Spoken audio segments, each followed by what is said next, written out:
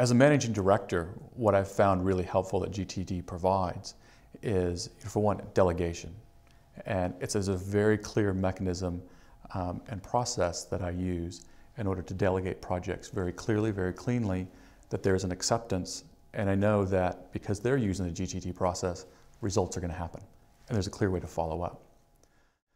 Another thing that I've found is it really gives um, a lot more context to put uh, projects into so it's more clear and therefore it just it frees up my mind much more to be able to think about other pieces and not always worrying about did I remember to do this, did I remember to do that, did I follow up on this. It's, it's in there, mind space, clear. So uh, that's another great thing about it. With GTD, we work not just great, but actually hyper effective. So everything had process around it. It was really just unspoken. We knew the process, the procedure, and it was actually a real joy to implement because we could even have even more fun together um, while we were just getting great results